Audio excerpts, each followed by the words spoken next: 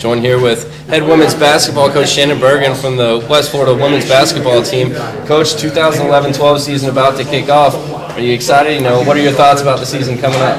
Yeah, I was just talking to Matt Rowley, our sports information director, and I was just telling him this preseason has seemed like it's been on speed dial. You know, it's just gone so much quicker than than previous preseasons. So, um, you know, we don't have a, a choice but to be ready.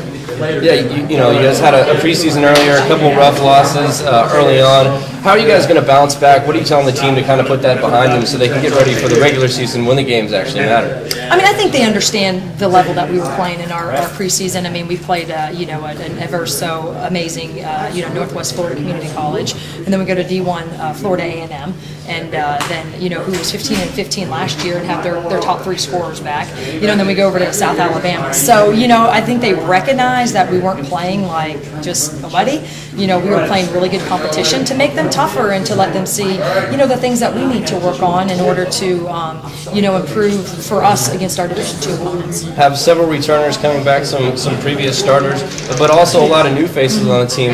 Who are you guys going to expect to step up big for you guys this year on the court? You know, right now it's like you know we have 12 young ladies on our team, six newcomers, six I mean six uh, returners. So you know, right now we're just really getting a feel for um, the team mesh, um, where our rotations are. Um, you know, of course, Octavia Bearden, uh, Keandria Merriweather, um, you know, uh, Shrine Scott.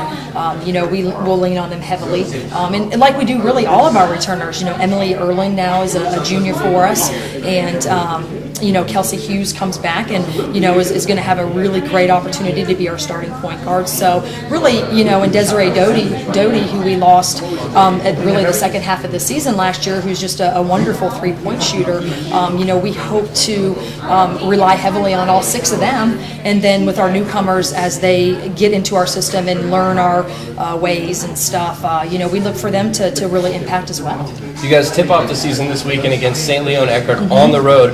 Uh, what are y'all's expectations as a team going in, team goals for the whole season, and what are your expectations uh, going into this opening weekend? Yeah, you know, we want to get better. You know, we're, we are new. You know, we, we do have six returners who did play significant minutes, but, you know, when you're meshing new kids, sometimes it does take some time. And, um, you know, a lot of our newcomers are going to play major roles for us. So, um, you know, our expectations are to get better every game. You know, that's what preseason's for, that's what non conference is for, so that when, you know, we get to conference time in January, that we can be playing our best ball heading into March into the conference tournament. So, you know, I think we've kind of hit some rough patches, but I think that we're learning from it, and that's what we want to do. So, um, you know, this weekend I expect that we just play well. You know, not only we play hard, but that we execute, uh, win or lose, that we, we just play hard and we play well, and, and we continue to get better every opportunity that we have to step on the court. The women's team will tip off their 2011-12 season this weekend on the road against St. Leo and Eckerd. You can follow it all here at GoArgos.com.